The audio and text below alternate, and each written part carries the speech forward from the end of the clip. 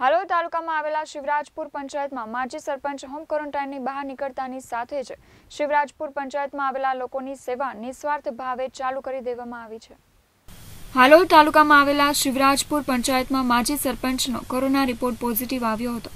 ત્યારે માજી સરપંચ કનુભાઈ સોની તાજપુરા ખાતે સારવાર લઈ સ્વસ્થ થઈ નેગેટિવ થઈને આવ્યા.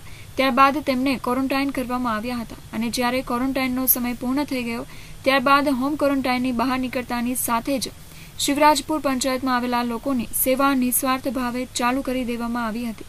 અને અગાઉ લોકડાઉન દરમિયાન પણ શિવરાજપુર તેમજ આજુબાજુની પંચાયતોમાં જરૂરિયાતમંદોને કીટ તેમજ માસ્ક આપી નિસ્વાર્થ ભાવે સેવા પૂરી પાડવામાં આવી હતી. અને હાલ પણ તેવી જ રીતે માજી સરપંચ શિવરાજપુરમાં માસ્ક વિતરણ તેમજ